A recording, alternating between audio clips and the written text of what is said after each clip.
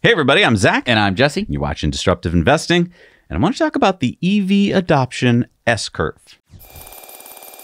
So, we talked about this for so many years on Tesla Time News, especially back in 2016 through 2018, when very few people believed that electric vehicles would actually become the dominant form of transportation. And I realized the other day that many of you investors may not really know where we stand with EVs versus ICE or internal combustion engine automobiles. Yeah, are EVs really gaining traction? Because depending on where you live, you may not see that many on the road, and you may be thinking, this is never going to happen. EVs are never going to replace ICE cars, at least not in my lifetime. So we're going to take a look at the numbers and see what's really going on. Now, before we get started, I wanted to remind everyone what an S curve is. We talk about it a lot, so if you already know, you get a gold star, but it's good for everyone to be on the same page. An S curve is how the adoption of a new disruptive technology looks when you chart it out over time. So, for instance, if we take a look at this chart from Market Realist, and let's find a real S looking curve here. Okay, um, how about air travel? Nice. That's in light blue starting around 1940. You can see that for the first decade, practically nobody was traveling by air. Why? There weren't that many airports, there weren't that many planes, it was expensive, and you couldn't even fly that far or fast. Then, as the technology kept improving, costs came down, comfort went up, and by the 1970s, half of the country was flying. Then, by 1990, there was an almost 100% rate of adoption. An S curve.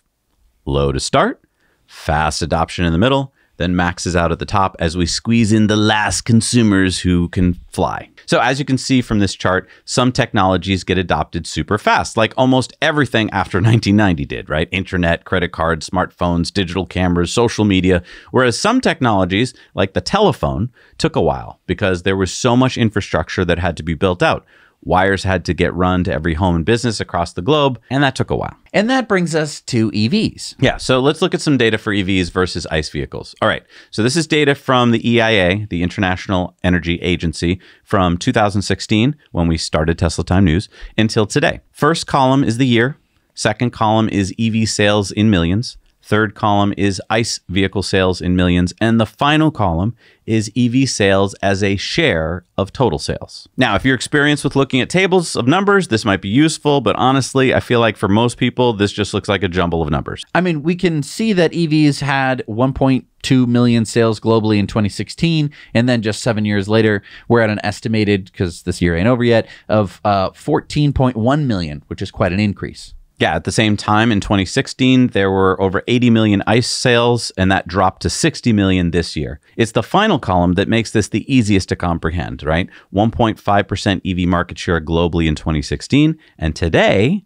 that's 23.5%.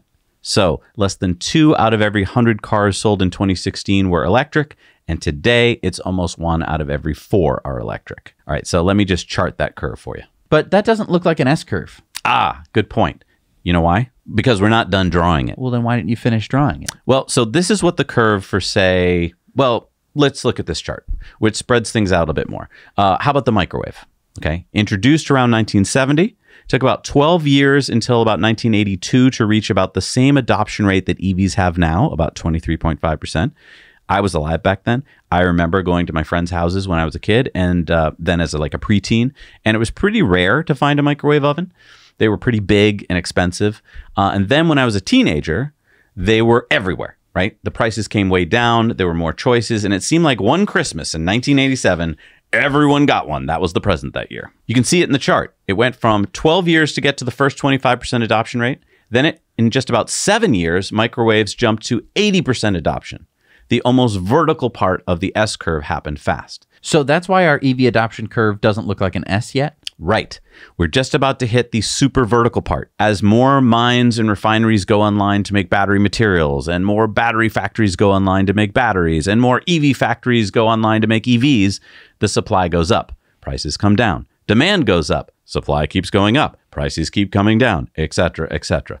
Until at some point in, say, 2030, there is your 80% adoption, and the curve slows down again as we squeeze every last person into EVs and ICE cars finally die out. Now, does every technology go through an S curve? No. Some technologies start off looking pretty hopeful and get some adoption, and then they just get disrupted themselves. So, for instance, VHS tapes. Uh, just as there was Blockbuster on practically every corner in America and everyone was renting VHS movies, along came DVDs and Blockbuster had to start renting those out. And then came Blu rays.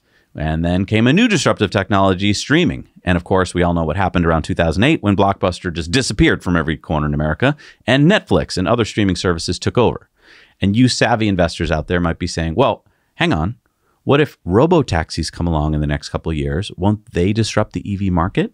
Yes and no. Right. Yes, they will disrupt EV ownership because it's unlikely that you'll own a car after that point. But those robo taxis will certainly be Electric. Right. I think a good exercise is to look at charts like this one of past technologies, really dive in, especially for time periods that you know about. Familiarize yourself with how long it took certain technologies to hit maximum adoption. Think about what infrastructure had to be put in place to get those products and services to everybody in the country. With VHS tapes, it meant you had to have physical brick and mortar locations in every town across the nation. Netflix came along and said, remember Netflix before streaming? They came along and said, these are pretty small, these little DVDs.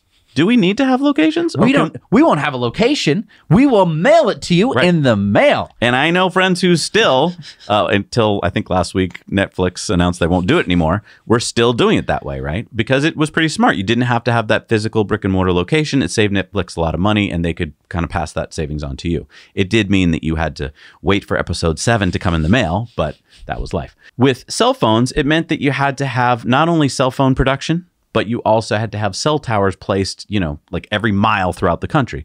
And this is probably why there's that famous case of McKinsey Consulting, who uh, AT&T hired back in the 90s. You know, how many uh, people will have cell phones in 10 years?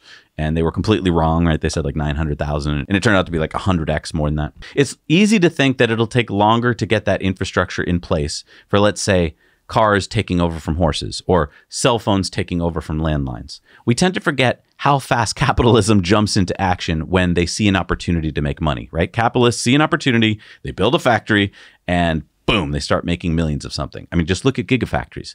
Uh, you take a watermelon patch in Shanghai, and then a year later, it's pumping out Model 3s. So I hope you found that helpful. Looking at a technology that we talk about every week here on the show, electric vehicles, going from 1.2 million EVs sold in 2016, only 1.5% of the total market, to over 14 million sales just this year. That's just seven years later. And it's easy to think that this line will be linear because that's the way the chart looks right now. But it's about to take a very fast turn, almost vertical. It's going to look like a hockey stick. And that's what most people can't imagine. And that's why I wanted to show you other technologies that you do know about and show you how their lines went almost vertical during that mass adoption phase. That is what is about to happen to EVs. That is disruptive technology, and that's what you're looking for as disruptive investors. We'll see you guys next week on Disruptive Investing.